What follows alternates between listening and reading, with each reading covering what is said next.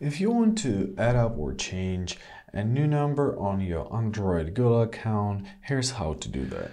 So to do that, first of all, open up your settings. After that, we're gonna scroll down to our Google section. Here it is, choose it.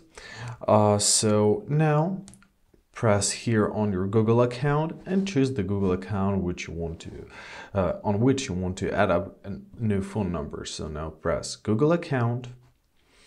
After that, we gotta press personal info, scroll down until you'll find your phone numbers. Now tap on this section.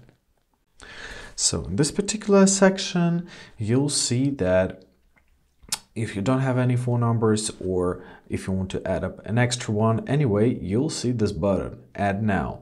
So now let's press on it.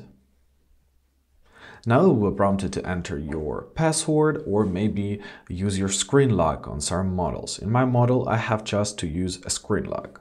After that uh, for a second like give your phone load up for a second it won't appear immediately. Now you have to enter uh, a desired phone number which you're gonna use.